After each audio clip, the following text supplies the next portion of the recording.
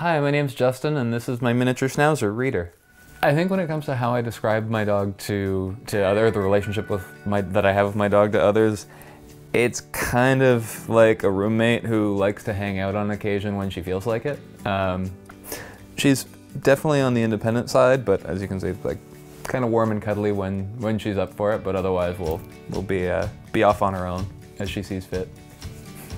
I think in a lot of ways my dog's personality mirrors my own in the sense that when she gets to know someone, she can be a little bit standoffish till she knows kind of what she's up against, but she's also, you know, very affectionate, very caring and loving, and uh, yeah, just fun to be around. Um, she's also not very dog-like in a lot of ways. Um, I keep it, it's a bit of a running joke with friends of mine and I that she's kind of part dog, part cat, part human.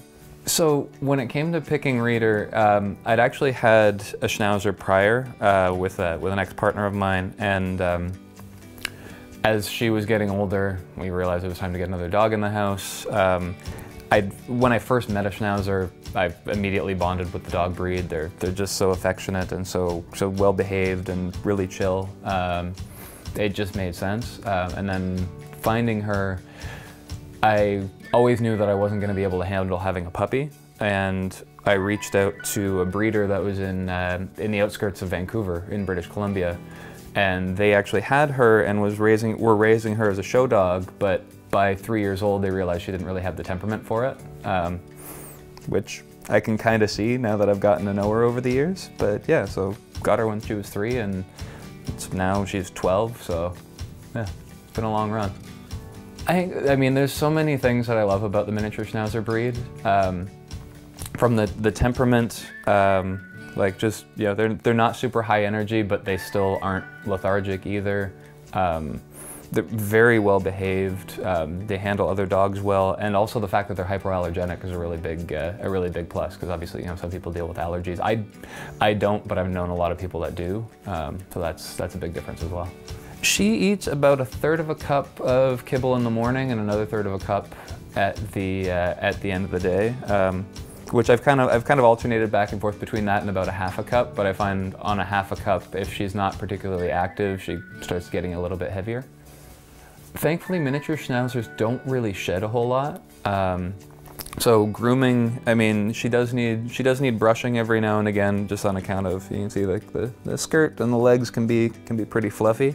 Um, and then she goes into a, she goes in for a professional grooming every probably six weeks, give or take. Um, so it's a, it's a bit of work, but it's not that bad. Um, miniature schnauzers generally do okay as far as health goes. Um, they have been known to deal with pancreatitis, which unfortunately she has little flare-ups every now and again. So one thing I've been doing with her for years now is um, she doesn't get any kind of other treats other than her own dog food. Um, on rare occasion, like a tiny piece of carrot's okay, um, or like a tiny, tiny bite of apple, but just if she gets into something when she's out on a walk, it can turn into an upset tummy for sometimes a couple of days or a few days. Um, but otherwise, from, uh, from a health standpoint, um, yeah, really, really easy, really problem free.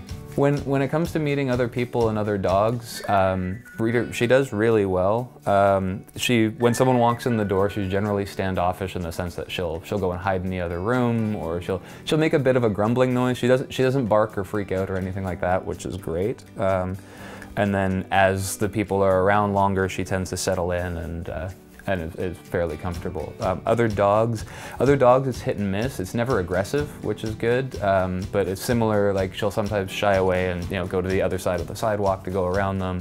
Other times she's super engaged and wants to wants to play around with them. So I, I don't really know what to expect, but thankfully it's never, it's never a problem.